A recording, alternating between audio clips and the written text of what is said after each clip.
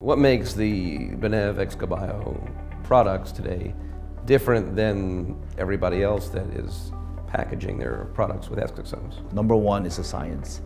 The second is the technology. Number three is our commitment to the regulatory. Why exosomes? What is so special about them? Let's talk about the recovery after the procedures, sure. like ablative lasers, right? Growth factor could do a certain level, but growth factor doesn't have the anti-inflammatory property where exosome has. So you can see a significant downtime. When I say significant, you can reduce about a day or two, right? When you use using a growth factor only, you will see some benefit, but now you see the faster downtime. Exosome has a lipid generating enzyme where it's very critical after you go through this whole procedures, you ablate the entire layers, right? How exosome can rebuild with components that are in it could generate lipids, which is proven by scientists already.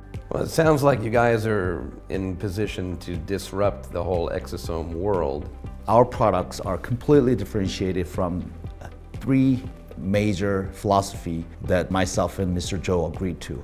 Number one is the science. You gotta be able to prove your science. You can't just say, I have something, but it's a secret, I can't tell you, right? What we've done with ExoCoBio is that we have now 16 peer-reviewed published papers. The second is the technology. A lot of companies also say we have technology. Isn't it somebody else's technology? Or did you actually went in and invest your time and effort to develop the technology? And we have now a total of eight patents to validate our technology. That's in US, but around the globe we have a total of 56 patents. Number three is our commitment to the regulatory.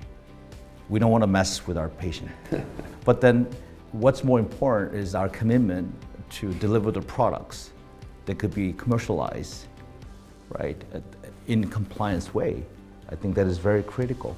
And the way we design our products, having ingredients that are registered to uh, personal care product councils, awarded with the INCI name. We actually have, it's funny that I say it, ingredient in our products that contain exosome with the word exosome in it. We have a lot of company come out and say, we have exosome.